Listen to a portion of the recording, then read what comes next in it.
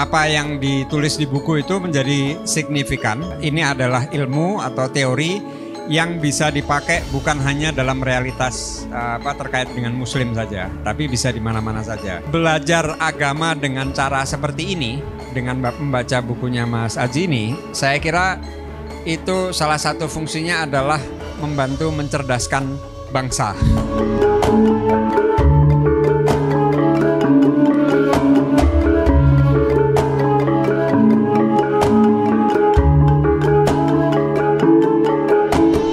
Assalamualaikum warahmatullahi wabarakatuh.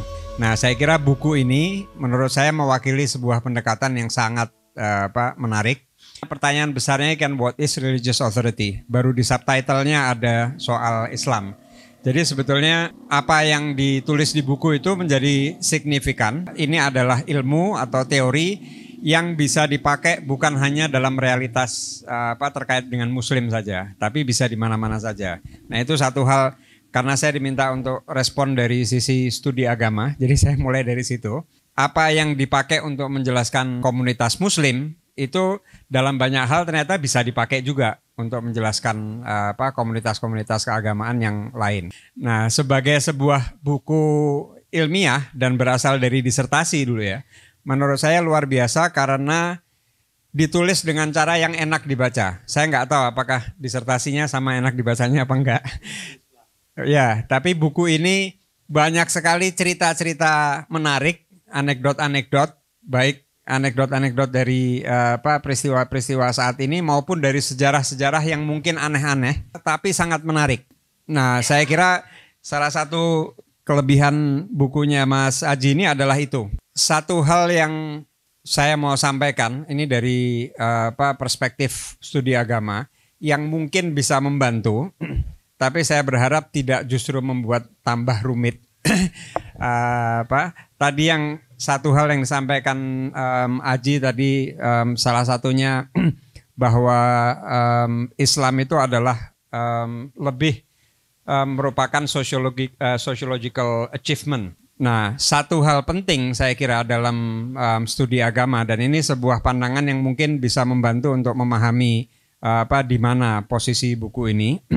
studi agama itu studi yang multidisiplin. Ada ilmu sosialnya, ada uh, apa humanioranya, bahkan ada teologinya.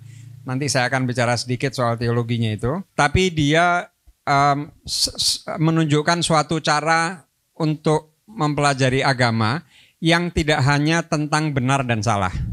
Biasanya kalau kita ngomong uh, apa agama, kecenderungannya kita bicara mengenai yang benar dan salah mana yang benar, mana yang salah. Agama itu menyampaikan yang benar, lalu orang bisa tanya juga mana agama yang benar, mana agama yang salah. Nah, dalam um, studi agama itu bukan pertanyaan utama, itu satu. Bahkan bukan ya bukan pertanyaan bukan pertanyaan dalam studi agama itu. Um, sekali lagi ini menunjukkan bahwa ketika kita bicara agama, sebetulnya isunya bukan hanya benar dan salah. Macam-macam isunya itu bisa apa bisa macam-macam dan satu hal saya kira yang penting tadi yang disampaikan Mas Aji ketika bicara soal religious authority yang lebih penting mungkin isunya adalah berhasil atau tidak. Jadi ketika melihat Habib Lutfi, mungkin pertanyaannya bukan apakah yang disampaikan itu benar atau salah. Kalau benar, apakah itu benar karena Habib Lutfi itu uh, silsilahnya bisa dirujuk sampai ke mana begitu. Tapi apakah dia berhasil apa enggak? Pertanyaan benar salah tidak menjadi sangat penting. Ini mungkin sebagian orang ini mengkritik tadi ini yang juga disampaikan ya bahwa sunnah itu orang bisa melihat sunnah sebagai apa yang dijelaskan oleh para fukaha, tapi bisa juga sunnah itu dipahami secara sosiologis sebagai upaya untuk membangun jamaah tadi, membangun komunitas. Tapi kembali tadi soal melihat agama secara sosiologis, kadang-kadang ini suka di, dipertentangkan dengan um, apa yang dikaji oleh teologi teologi itu bicara benar atau salah. Tapi menurut saya juga teologi sekarang sebagian besar teologi itu di dalam apa komunitas muslim, Kristen dan sebagainya itu tidak semata-mata soal itu. Teologi pun sudah dipengaruhi oleh ilmu sosial untuk memberikan satu contoh yang agak jauh ya. Sekali lagi tidak terbatas pada komunitas muslim, misalnya teologi pembebasan. Pertanyaannya di situ bukan pertanyaan benar atau salah. Teologi pembebasan ini yang dipakai oleh apa di Amerika Latin ya. apa Katolik. Pertanyaannya bukan cuma benar atau salah, apakah yang disampaikan itu benar atau salah. Apa cara kita menilai itu bukan cuma itu, tapi dia berhasil atau tidak. Um, jadi kriteria-kriterianya beda kalau kita melihat uh, apa sesuatu dengan dengan kriteria benar uh, apa atau salah atau kriteria yang lain. Nah, satu kata kunci tadi saya saya sudah singgung sedikit um, soal articulatory labor, kinerja artikulasi. Jadi seperti mungkin contoh kalau kembali ke contoh Habib Lutfi itu dia bukan cuma menyampaikan apa yang dia tahu atau apa yang dia terima segala macam, tapi dia bekerja, dia membangun Eh, apa sesuatu, mengartikulasikan, bukan sekedar menyampaikan atau apa, tapi membangun sesuatu secara aktif. Nah, karena yang artikulasi itu kan double meaningnya bukan hanya mengartikulasi, tapi mengeluarkan, me menyambungkan dan mengubah. Iya, apa itu mungkin yang seperti contoh yang uh, apa masjid Masjid Demak dan, Masjid Demak dan Ka'bah. Masjid Demak dan Ka'bah. Ya, ketika mau di Ya, biar biar nanti ceritanya mungkin kalau kalau penasaran, tapi itu cerita salah satu cerita menarik dan sangat instruktif saya kira. Uh, Pak, jadi ketika mau mencari kiblat itu bukan cuma sekedar mengarahkan Masjid Demak ke arah yang benar, yaitu kiblat, tapi uh, Pak Ka'bah maksud saya. tapi um, waktu itu Sunan Kalijaga itu ya, yang dua kaki uh, Pak satu kakinya ada di masjid sini, satu kakinya di Ka'bah dan kemudian itu di di ya di align jadi dipaskan gitu kurang lebih sehingga sebetulnya ini bukan cuma mengarahkan ini supaya pas sama situ, tapi kedua-duanya itu berubah.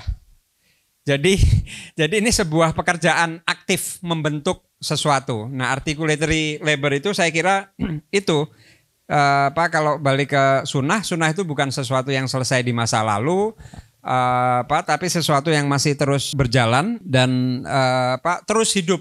Dia nggak nggak selesai. Poin saya yang terakhir mungkin sebetulnya penjelasan-penjelasan sosiologis macam ini apa sih perlunya? Apakah ini hanya keasikan intelektual saja? Nah, mungkin kita bisa kembali um, ke situasi kita saat ini ketika misalnya ada banyak sekali klaim mengenai otoritas, ini tafsir saya sendiri ya, dan nanti Aji tentu bisa merespon lagi. Seperti misalnya otoritas entah itu otoritas MUI atau otoritas kelompok Islam yang merasa mewakili Islam dan kemudian memperjuangkan kepentingan politik tersendiri dan seakan-akan itu kalau sudah pakai misalnya ya Eh, apa mengusung fatwa MUI atau menjadi pembela fatwa MUI misalnya, itu seakan-akan sudah pasti benar dan sering kali berhasil memang. Tapi sebetulnya yang perlu diingat bahwa itu sebuah pekerjaan politik. Pekerjaan politik dalam artian bukan politik secara yang di apa saya tidak pakai istilah politik secara sinis ya, tapi pekerjaan politik dalam artian politik itu ketika ada banyak kepentingan dan kemudian orang memperjuangkan kepentingannya, itu sah-sah saja. Semua orang melakukan itu. Nah, pembangunan sunnah itu saya kira adalah juga isu politik, sepenuhnya politik itu. Itu bukan cuma masalah ada ajaran yang benar dan sebagainya dan kemudian disampaikan, tapi upaya membangun itu itu upaya politik. Nah, kadang-kadang buruk dan kita sudah melihat banyak sekali contoh buruk orang yang mengklaim uh, otoritas dan kemudian merasa dengan mengklaim otoritas maka urusannya selesai semua orang harus ikut bahkan dalam titik-titik tertentu dalam situasi kita sekarang memaksa negara untuk mengikuti otoritasnya itu. Ya saya sebut saja contoh misalnya MUI.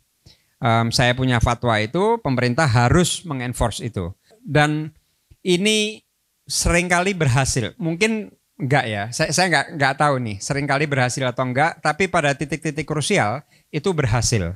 Nah, belajar agama dengan cara seperti ini, dengan membaca bukunya Mas Aji ini, saya kira itu salah satu fungsinya adalah membantu mencerdaskan bangsa. Jadi ketika melihat religious authority itu, kita tahu pertanyaan kita bukan cuma bahwa kita harus ikut apa enggak ini benar terus kita ikuti atau salah kita lawan kita tentang diajukan ke pengadilan penodaan agama atau apa tapi bahwa ini sebuah upaya politik yang yang sadar dan uh, apa dengan sadar bahwa ada kepentingan tertentu yang diperjuangkan, maka kita juga melihat apa kepentingan kita. Misalnya MUI itu ya tidak serta-merta dia pasti benar um, dalam kenyataannya sebetulnya tanpa mengingatkan orang, sebetulnya rata-rata orang kan sudah begitu. Seperti misalnya fatwa MUI itu nggak semuanya dipakai, sudah jelas. Fatwa MUI tentang bunga bank misalnya itu riba, kalau itu diikuti semua orang, saya kira bank-bank konvensional sudah tutup di Indonesia. Nyatanya kan enggak. Tapi ketika ada fatwa, saya kasih aja udah langsung contoh. Ini tadi saya agak muter-muter karena nggak mau menyinggung contoh yang apa, yang krusial. Tapi fatwa tentang Ahok misalnya, lalu seakan-akan itu harus dienforce, bahkan diperjuangkan, memobilisasi orang segala macam gitu. Kenapa? Karena ini fatwa MUI, ini fatwa dari otoritas religius itu. Tapi hal-hal lain sebetulnya enggak. Jadi orang-orang yang bicara soal membela apa fatwa segala macam sebetulnya juga berpolitik dalam artian mempertimbangkan kepentingan itu. Nah, mungkin saya berhenti di situ. Semoga saya apa namanya tidak terlalu apa panjang. Tapi satu hal yang terpenting sebetulnya yang saya ingin garis bawahi soal tadi itu ya.